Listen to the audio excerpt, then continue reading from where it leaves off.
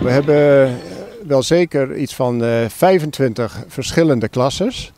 En we roeien dan in vier, of eigenlijk vijf verschillende boottypen. Daarnaast is er ook nog een onderscheid bij de vieren, dat je met en zonder stuurman kan varen. Nou, we hebben in de gelukkige omstandigheid dat we een record hebben dit jaar. Dat we de 148 uh, ploegen. Dus dat zijn nog veel meer deelnemers, want ze zitten over verschillende boten verspreid. En vier jaar geleden hadden we er nog 142. Dat was voor ons al heel uniek. Maar we maken echt nou een stijgende lijn door. Dat vooral ook uh, junioren en jongerejaarsploegen van studentenverenigingen ervaren hoe aantrekkelijk hier het kanaal is. Je ziet hoe mooi het is met de rietkragen aan weerszijden van het kanaal.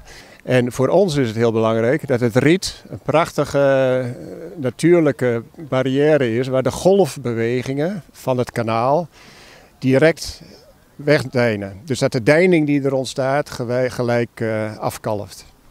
Kijk, we hebben natuurlijk met de containerterminal bij de, voorbij de Bornenbroekse brug. Nou, daar komt ook een draaipunt voor die grote schepen. Dus als het maar enigszins mogelijk zou zijn om hier de natuur nog een beetje in stand te houden, vanaf die brug tot aan Almelo, dan biedt dat heel veel mooie, ook recreatieve voorzieningen, waar heel veel mensen plezier van hebben. We hebben veel ploegen ook uit het westen, uit Groningen. We hebben ook uh, zo'n 20 roeiers uit Duitsland. Dus die, ja, die hebben de laatste acht jaar weten de weg hier ook meer en meer naartoe te vinden.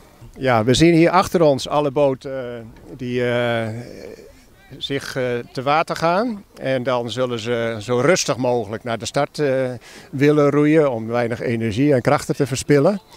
Dus het oproeien, dat zullen ze in een half uur ongeveer doen. En de wedstrijd, daar gaat uh, nou, de snelste skiffeur, daar is het record, dat staat hier op 18 minuten 20. En de snelste twee zonder, die het ooit heeft gedaan, denk ik in 18 minuten 6.